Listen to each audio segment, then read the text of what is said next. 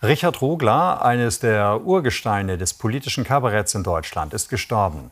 Seit den 70er Jahren stand Rogler auf Bühnen. Mehrfach wurde ihm der Deutsche Kleinkunstpreis verliehen.